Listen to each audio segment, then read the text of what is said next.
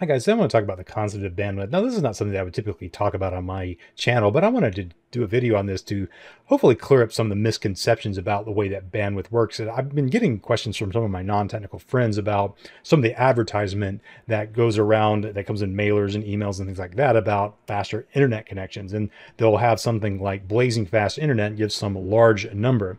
What I want to do with this video is talk about why a larger number doesn't mean faster internet.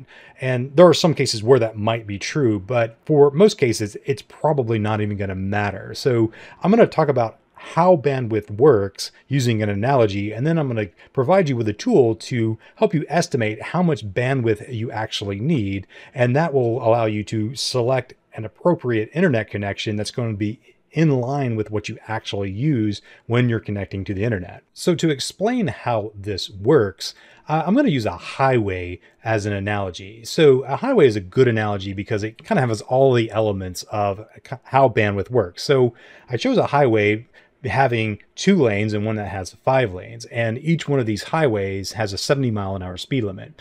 Now, I know on a highway, you're going to have variable speeds. You're going to have people that are probably going a little faster than the speed limit. You're going to people going less than the speed limit. For this analogy, I'm going to assume that everybody's doing exactly the speed limit because on a wire or fiber optic cable, all of the data is flowing down that particular media at a constant speed. And that's probably going to be some sufficient or significant portion of the speed of light. Now, something moving in a media like that isn't the speed of light, but it's pretty dang fast. And we'll just kind of leave it like that. So you're not going to end up with one packet moving faster than the other one down the same media. It's all going to move at the exact same rate. And that's why I chose this analogy with a set speed limit. So bandwidth is actually more closely related to the number of lanes on a highway than it is to the speed limit. As we already established, you really can't increase the rate in which something flows down a wire or flows over a fiber optic cable. So the only way that you can increase the amount of traffic it handles is by adding width to that. In the case of media, that's what we call bandwidth. And on the case of a highway, it's more lanes, but we're still going to have the same speed limit regardless if I have two lanes or five lanes. So let's talk about the traffic now on these highways. Suppose I have one car moving down the two lane and I have one car moving down the five lane at 70 miles an hour. They're going to both go from point A to point B in roughly the same amount of time. If I add three more to the two lane and three more to the five lane, nothing has really changed. Cars are still moving at 70 miles an hour. They're going to get from point A to point B in the same amount of time. If I add 10 more cars to the two lane and 10 more cars to the five lane, everything is still moving at 70 miles an hour. Things are going to go from point A to point B in roughly the same amount of time. Now, the difference between these two highways, though, is the two lane is now saturated. I can't put any more cars on that highway without causing some kind of congestion. While I could add a lot more cars to the five lane before I run into the same problem. In fact, I could add a total of 21 more cars to the five lane before I have a problem with congestion. So let's talk about this in terms of internet traffic now. Let's say I wanted to do email. Now, email is a fairly common thing. You open up your email app, it connects to a server, it downloads a message, and it might go into a wait state or disconnect depending on what email protocol you're using. But at the start of the program, it basically just has a burst of activity, then it shuts down and it's done. And we could represent that by two cars across a couple of lanes because typically with internet traffic, it tends to fan out across the available bandwidth that it has. So whether I do this on a two lane highway, proverbially speaking, or a five lane high, uh, highway, it doesn't really change anything about that particular use case.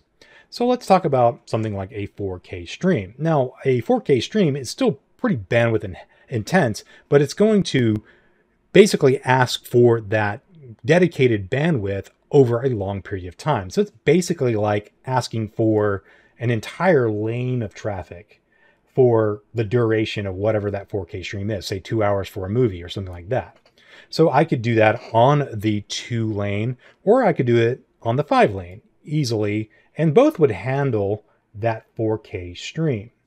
But in the case of this 2K stream, if I wanted to do email, I can't really fan out like I did in the first case. I'm going to have to just use a single lane to fetch my email. And it might take a little bit longer to get my email, but it's not going to be such that I really care uh, or it's going to make a big impact on my productivity. Instead of taking two seconds, it takes four seconds or something like that.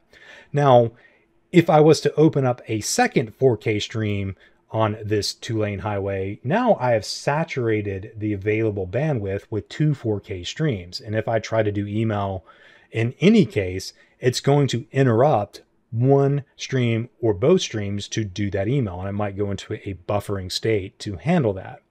However, if I was to open up another 4K stream down here on this five lane, I still have the capacity to do that. And I still have capacity to do email. I still have the capacity to maybe do some internet browsing or internet shopping. Maybe I want to do some gaming or whatever it might be. I still have the available a bandwidth to handle more load, even though I have two 4K streams that are consuming two full lanes of traffic. So whenever we think about bandwidth, think of about think about bandwidth in terms of lanes of traffic. A 20 megabit connection in simplistic terms might be a 20 lane highway and a 300 megabit connection might be a 300 lane highway and a 1 gigabit connection might be a 1000 lane highway each one of them has a speed limit of 70 miles an hour, but the amount of traffic they can handle is significantly different because they have more capacity available at 70 miles an hour. If you want to see how much bandwidth you have available, you can go to uh, Google and just type in speed test and then run this little test right here. I have about 300 megabits per second at my home, and, and, depending on the time of day, depends on how much of that is going to be available. Sometimes I get over, like I just did, at 320 megabits, and sometimes it's less than that. Usually it's between uh, 250 and 330, depending on the time of day. And upload, I have about around uh, 11.5 according to this test, but I'm supposed to get around 10, so I'm getting a little bit more than I actually have available to me according to the advertisement. So this is looking at both the download and the upload. The, the case that we looked at in our analogy was the download speed, which is going to be the main one that most people are going to be interested in in whenever they're talking about using the internet at home or are they're going to be using it at an office or something like that. If I was running a data center, then both of these become pretty important numbers because a data center uh, is going to need to send a lot of data. So upload becomes a very important number in that case.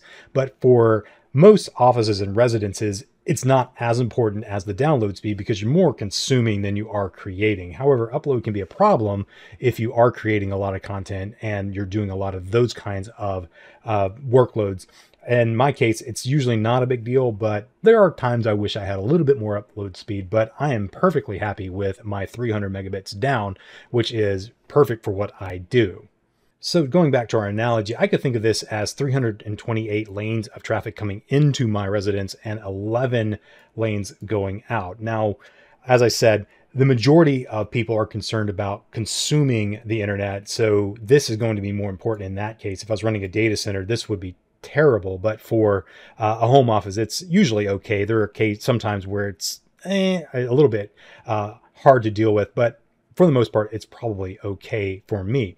So if we can think about it in those terms, I can think about estimating my need based on the kinds of workloads that I'm going to be doing in a given amount of time. So I wrote a little app and I'll make it available to you so that you can kind of do the same thing. I'm going to show you that app now, how you can estimate your bandwidth requirements. And then based on the amount of data you have coming into your house, you can see is that enough or do I need to get more or am I am I overpaying or something like that. So here's the app. It's available at blaize.net slash bandwidth.html and it's internet use case bandwidth calculator. It's the name of the app. And I whipped this up in uh, about 15 minutes. It didn't take me long at all to write this. Uh, I originally did it as a spreadsheet, but I thought it'd be more accessible as a web page. So the way it works is you have use cases here on the left from least bandwidth intense to most bandwidth intense, like email being very low bandwidth to video streaming being very high bandwidth. Now, these are just some average numbers based on some research that I did, but uh, these are not going to be indicative of every case in every instance, but these are some good averages. So if uh, if your actual usage varies from what I'm estimating here. It's uh, because I'm basing this on averages, not based on your particular instance. But this is just to try to give you an estimate. So based on that, you have use cases, and across the top, you have different periods during the day. Um, and what you all want to do is think about the time of day when you probably are using the most bandwidth. That's not going to be 2 a.m. in the morning for me. I might have a couple of smart home devices, but beyond that, I'm asleep. There's nobody watching anything. There's nobody streaming, nobody gaming, nothing like that. So I'm not going to fill that column out. The only one that I'm really going to be concerned about are those times a day where we're probably actually using some pretty substantial internet traffic, which could be one of two times a day for my particular uh, life. And that's either when my kiddos get home from school or at night whenever uh, my kiddos have gone to bed and I'm just might be relaxing, my wife might be relaxing or something like that. So I'm going to fill it out for the 3 p.m. hour and then I'll fill it out for the 9 p.m. hour and just kind of get an estimate for each one of those. Um, for the 3 p.m. hour, um, after my kids get home from school, my wife might be doing some email. I'm definitely doing email for work stuff. Um, those 4K, those uh, smart home devices are doing their thing. Um, media, music streaming. I, I'm, I tend to stream music during the day when I'm working. No, no online gaming going on at the time. Maybe some social media for my wife. I probably have a thousand tabs open for work stuff. For web browsing, probably some online shopping. My wife might be buying groceries or doing some Amazon shopping or something like that. Um, my kiddos are definitely doing some streaming at that time of day for uh, watching stuff on Disney Plus or something like that. I'm probably on a conference call doing remote work, and I might be doing some content work during that time of day as well, but no 4K stream. So the way this app works is it's going to highlight the time of day where you have the most bandwidth need. It's not trying to sum up every day, every hour for the entire day. It's trying to highlight the peak and that's where you have to plan your capacity around. So in this case, the peak so far is 76 megabits per second during the three o'clock hour. So if I wanted to estimate it for the nine o'clock hour, uh, I'm just going to go through the same exercise. Again, might be doing some email between myself and my wife. I still have those smart home devices. Those never really stop working. I might be streaming music. I might be gaming. Um, probably a couple of social media sites open. Might be doing some web browsing between the two of us. Maybe one of us is web uh, online shopping. Um, I might be streaming something uh, like YouTube content. Probably no video conferencing for remote work or telemedicine. I might be doing some content dev, and my wife might be watching a 4K stream. So in that case, we need 86 megabits per second for that hour of the day, even though it's only two people online versus four people online to cover these use cases. But regardless, this is just highlighting that I need at least 86 megabits per second in my internet connection to handle my peak capacity. And so that's how you kind of have to shop for your internet usage. So during most of the day, I'm probably using less than 10 uh, for just the, kind of the baseline traffic. But during these spikes, I need at least 86 to cover my bases. As we saw, I have 300 available at my home. Now, that is actually the base package in my area. I can't get a lower package than what I have available to me right now at 300 megabits. I could pay for up to a gigabit, but I would be wasting money because there's no time of day that I actually need that kind of bandwidth. So if your need is for 86 and you're paying for 500 when there is a 100 megabit uh, package available, you might be paying for bandwidth that you're never actually using. So use this as an estimator to figure out what your kind of baseline requirement is and plan accordingly. Now, it might be the case that I grow and I need more capacity, but I still have a lot of overhead. I still have over 200 megabits of capacity available to me. So I'm probably not going to need a faster internet connection for a while, if at all, in the foreseeable future. So again, just figure out what your needs are and use this kind of as a way to benchmark what your capacity is against your current internet connection and see if you need more bandwidth or you could get away with less bandwidth. So hopefully this has cleared up some of the misconceptions about what bandwidth is. And like I said, the analogy here is to think of bandwidth as the number of lanes on a highway than it is the actual speed limit on the highway. Because all the traffic on the proverbial highway is moving at the same speed. The, really the only way you can add capacity then is by adding more lanes to that highway. So in this case, what I gave you was a tool to estimate the number of proverbial lanes that you need uh, for your particular internet usage. In mine, we saw I needed about 86 megabits per second, but I have 300 megabits per second of capacity available to my home office. Yours might vary. And so if your estimate is over what is available at your home office, then maybe you need to purchase more internet. Uh, if you're coming uh, way under what you're actually paying for and there's a cheaper package, maybe you can save a buck by buying that cheaper package, depending on what's available in your area and your needs as an internet user. So use this information with that kind of discretion. As always, thanks for watching the video, like and subscribe. And if you have comments or questions, drop those in the comments section down below. Share this with your friends, share the app with your friends. And like I said, it'll be linked in the video description down below. And hopefully I'll be producing more content in the vein of network networking and networking concepts in future video. I've still got a few in AI that I want to do, and I'll be posting those in the coming weeks. And as I said, as always, thanks for watching. If you like this content, please consider subscribing to the channel by clicking on the subscribe button. You can also like this content by clicking on the thumbs up or share this content with your friends and also comment in the comment section down below. You can also find me online at www.blaize.net or on Twitter at the one mule. And as always, thanks for watching.